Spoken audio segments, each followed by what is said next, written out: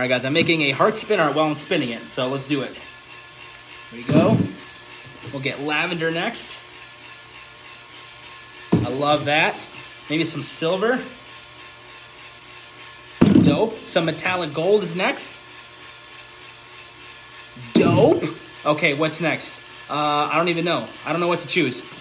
Okay, I added some pink in here. Let's do it again. A little bit more of this purple neon. Okay, ready?